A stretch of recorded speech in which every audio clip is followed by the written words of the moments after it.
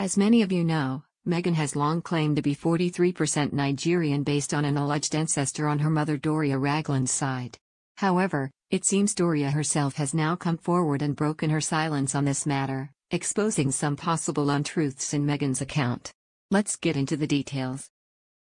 To give some background, ever since entering the royal family, Meghan has spoken openly about being mixed race and the struggles that come with having a biracial background. She seemed proud of her diverse heritage, which included being descended from slaves. Many supported Meghan for bringing more diversity and representation to the monarchy.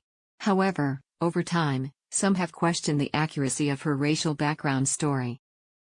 The main issue seemed to focus on the supposed 43% Nigerian ancestry claim through her mother's side. While Doria is African American, the specific tie to Nigeria was brought into question by some genealogists and researchers who looked into Meghan's family tree but could find no evidence backing up a direct Nigerian link going back many generations, as Meghan had stated.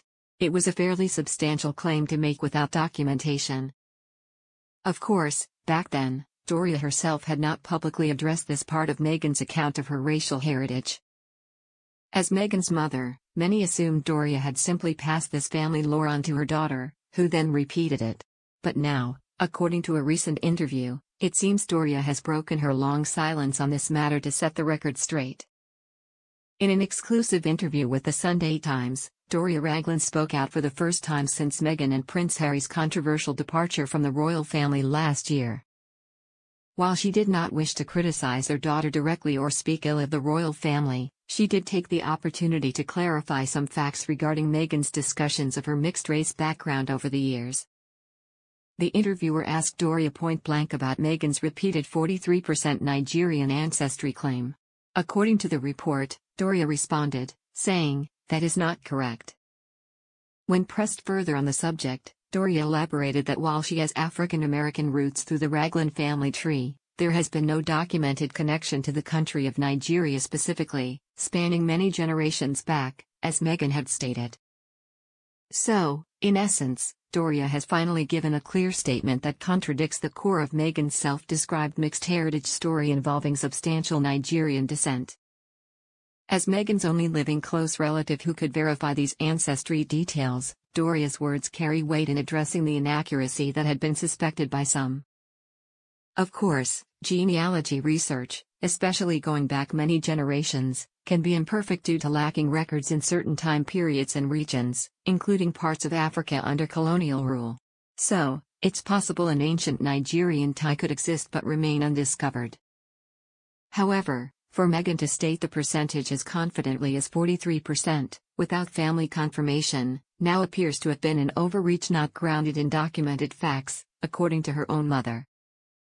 Naturally, this raises some questions as to why Meghan would portray her background in a way that has been directly contradicted by her mother, who is the most knowledgeable source. Only Meghan herself could say for sure what led to the misrepresentation of her heritage story. But what is clear now is that, according to the testimony of the most authoritative living source, her claim of substantial documented Nigerian descent appears to have been false or exaggerated beyond the facts. So, what implications does this have now in the aftermath of Megxit? On one hand, it's just details of family history, and no one is perfect, we've all repeated something inaccurately told to us before. However, Meghan had positioned her mixed heritage as central to her identity. The experience in the royal exit she and Harry engineered was partially based on allegations of racism against her in the family and press. As a prominent woman of color in the institution, if her racial self identification and advocacy were based on untrue stories, it could potentially undermine the legitimacy of some of her grievances. At the same time, though, her experience of being biracial and facing prejudice is still real and valid, regardless of a precise percentage. It also doesn't negate any mistreatment from the royal family or press that may have also been factors in their departure decision. Of course, without any comment from Meghan herself on her mother's statements, it's difficult to say for certain how this new information lands. One would assume she now knows, through Doria, that the Nigerian claim was false. But will she own up to that publicly and explain how the record got mixed up, or will she choose to simply avoid addressing it further and let the inaccurate version stand uncorrected in the public discussion of her background?